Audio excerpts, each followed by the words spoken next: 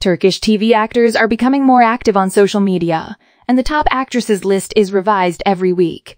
Atabay TV announced the most well-liked actors via tweets between April 25 and May 1 on the Twitter platform. The top 10 on the list are all female actresses, and they represent the most well-known figures from recent years who have collaborated on successful projects. Of course, the first two names on this list are frequently seen.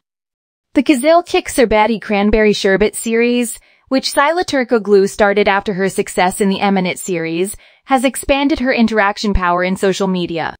Su Burcu Yaz Coşkun was surpassed by Sila Türkoğlu, who portrays Doga, the main character and protagonist of the Kizilcik Erbeti series, in the popularity poll for actresses.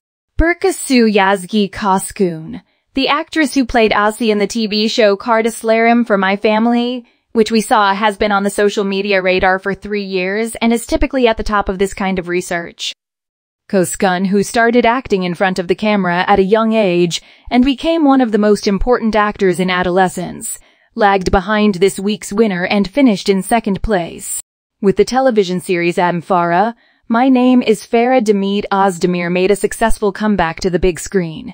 The actress, whose prior works and fame attracted millions of fans, is listed in third position. Afra Saraçoğlu, who had significant exposure thanks to the Kingfisher series, is another well-known figure who came in at number 4 on the list. One of the well-known names on the list is Ebru Şahin, who appeared in the Yüz Yıllık Mucize 100 Years of Miracle television series, and Elçin Sangu, who achieved significant success with the Çöp Adam TV series.